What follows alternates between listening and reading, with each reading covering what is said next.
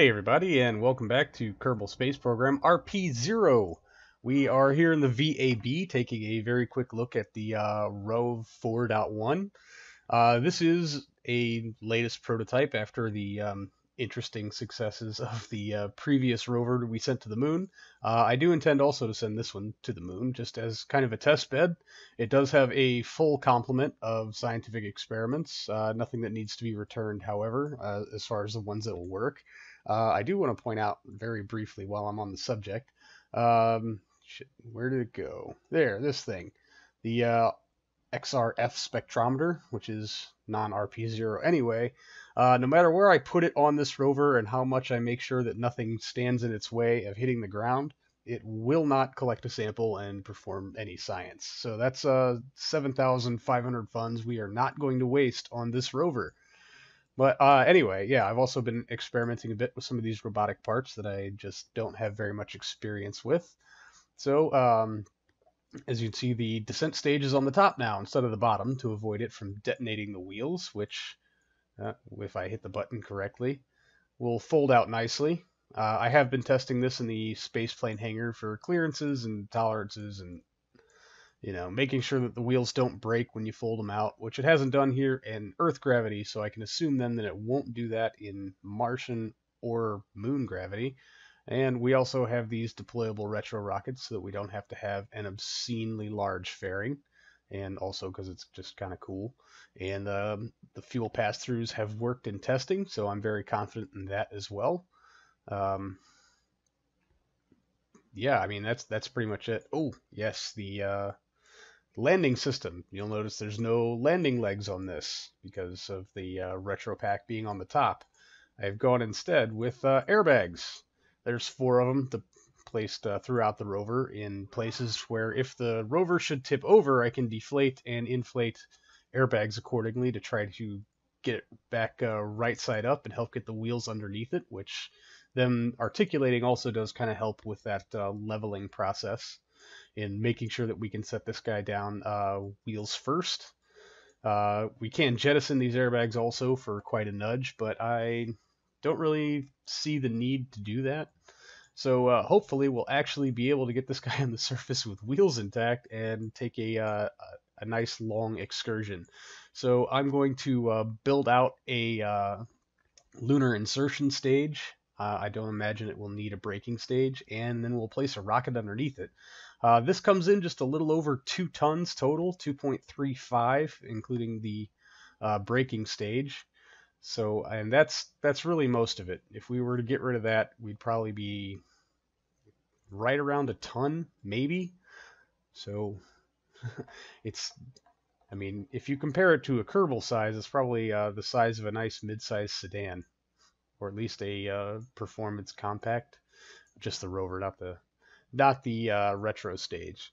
But um, so I, yeah, as far as like how it compares to actual rovers that we've deployed places, oh boy, there we go. let's uh, let's get this up in the air, shall we? And maybe centered along some lines. And uh, yeah, I'm gonna go ahead and build out the uh, lunar insertion stage, and we'll get a rocket underneath it. And yeah, that'll be that. I'll pick you guys up in just a second.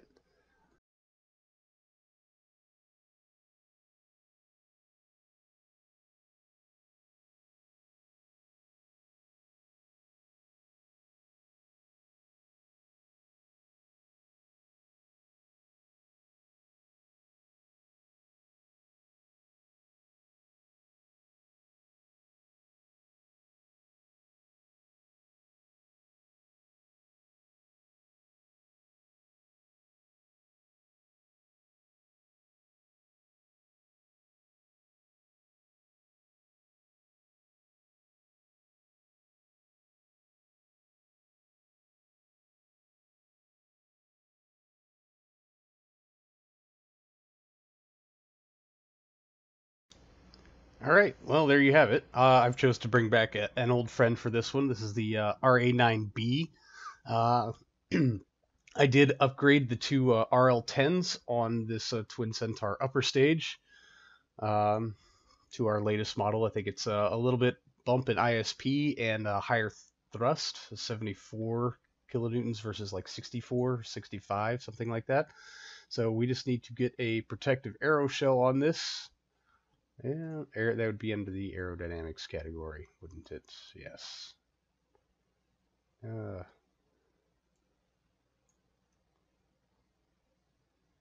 Soyuz. Seems fitting, doesn't it? All right. Wow. our, our, our payload is as big as our, our transfer stage. You know, whatever works for you. All right, and we'll get this uh, staging set up here. Probably just needs to be there after booster sep. We'll save. And uh, let's get one of these built, shall we? Oh, I didn't even check our build time on it. Derp. well, uh, even not using any available spare parts, we could slap one of these together in about 66 days. So uh, that's pretty cool. I guess we'll be getting to that uh, shortly, although we do have a few other things that we need to uh, tend to in the meantime. So I'll pick you guys up in just a little bit.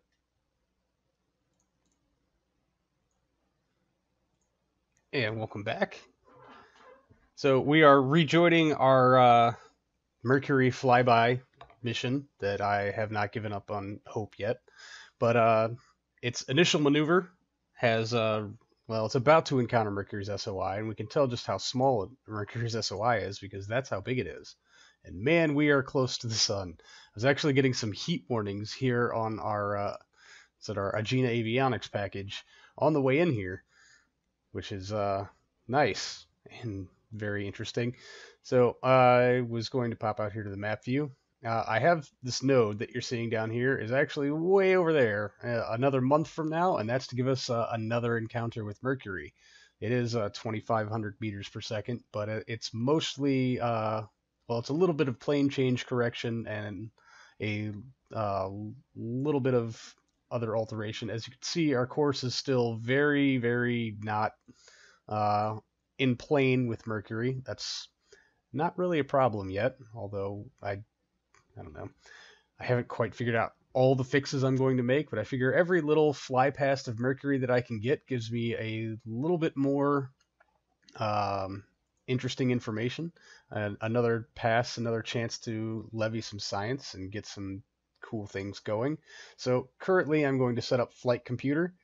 Uh, very first thing we're going to do is right after we hit our encounter. So I'll set that delay for about 10 minutes. Yeah, there you go. 10 mic. Thank you. And we'll go through and run our full complement of scientific experiments here. So, log radioplasma, um, log imaging data. We'll go ahead and start the multispectral scan. We'll get what little bit that we can. Uh, log radiance scan, and we've got our full complement of five over here also pressure impact, rads, temperature, and perturbation data. Did the perturbation data take? Yes, okay, good. And of course, analyze telemetry. All right. And then we want to try to uh, make sure that we can nail it at periapsis also. So let's focus in our view here. Our time to periapsis is 1 hour and 59 minutes, 50 seconds. So 1 hour, 59 mic. I'm just going to go ahead and include the 30 seconds uh, in hopes that I can get all of these things toggled by then. So we'll give it a log imaging data because hopefully we'll be close to Mercury by then. Magnetometer. That doesn't work in low science or low space. Plasma wave. Temperature. Perturbation. I don't know if I got radiation already. If we get it twice, no big deal. So basically we're just going to do this flyby like we've done all the flybys of Jupiter's moons and hope that I get the timing correct. Maybe I will, maybe I won't, who knows, but uh, I think we're all set up and we're ready to go. So we'll just revert to our tracking of our spacecraft here and get this flight underway.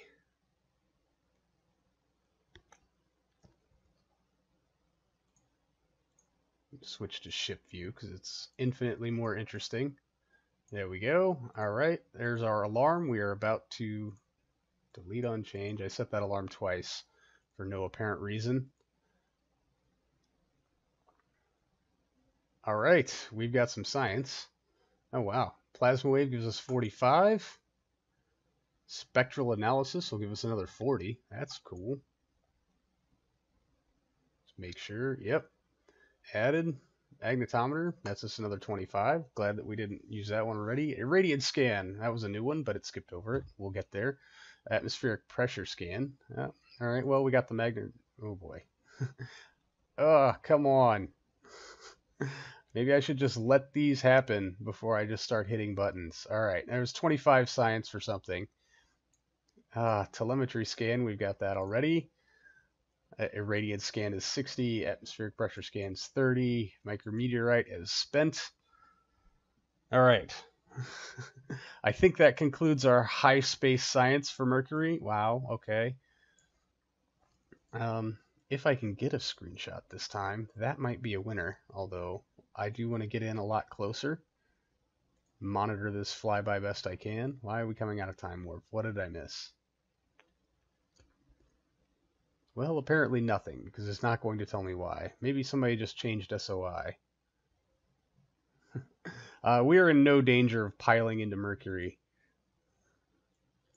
But it, it is quite cool to just watch things zoom up on you like that.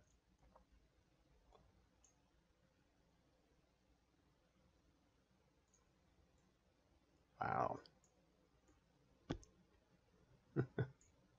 That's an interesting uh, where the North Pole is, kind of the texture wrapping.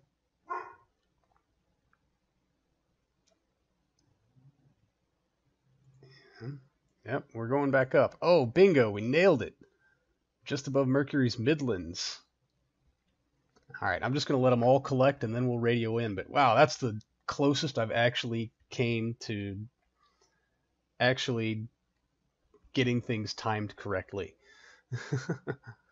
All right, uh, Geiger counter nets is 54. Yeah, it looks like we actually covered more than one biome with that, because right now we're over Mercury's Plantilla, but some of these are from the uh, Midlands. Some of them are just generic near Mercury telemetry analysis. Uh, 40.5 interesting divisions there. Uh, 72 for the multispectral scan. Uh, magnetometer scan gives us another 45. Radio plasma wave gives us 81. Temperature scan has been done. Gravity scan has been done. 54 for the atmospheric pressure scan again. No comms. Oh no. Was I doing that the whole time? Oh, all right. Well, they're still stored there. And looks, and we'll be uh, collecting data until we get to about the 500 kilometer mark. I thought it was 300 kilometer on this thing, but at least the lens is pointed down. We got that part correct. All right, well, uh, we're just going to have to go through and manually transmit in all of those sciency things uh, once we've established a connection. Presumably, once we clear the other side of Mercury, we can radio in all this cool stuff we got. Not a big problem. We'll see you again soon, Mercury. Don't you worry. I'll be back for you. All right, connection reestablished. So what what did I what did I miss? I wonder. Uh, yeah, we'll just go through and hit review data on everything. No, that one's fine. That one's fine. Review data. Uh, review data. And we'll also do analyze data.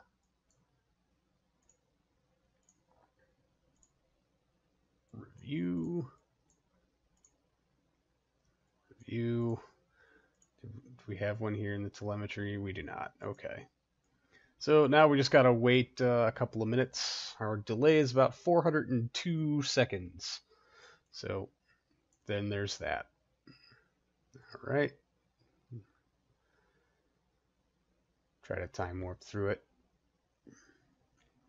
Come on.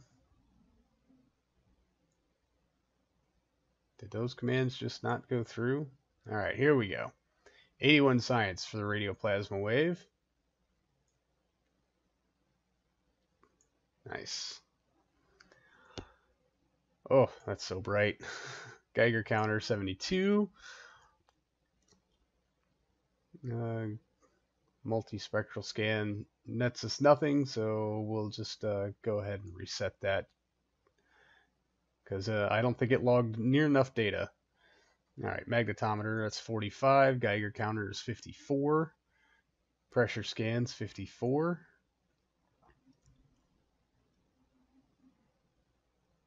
I hope all of those went through. I stopped looking. I really need to pay attention to that. Oh well. And why did that node jump down so much? I feel like that probably means it was altered. Yeah, probably, because it's not showing my encounter anymore. So I'm just going to have to replot that. Uh, no big deal. But uh, this one stretched on a little long enough. So I think that's going to do it for us today, everybody. Thank you so much for hanging out. I do appreciate it. And I'll see all of you in the next one. So until then, see you later.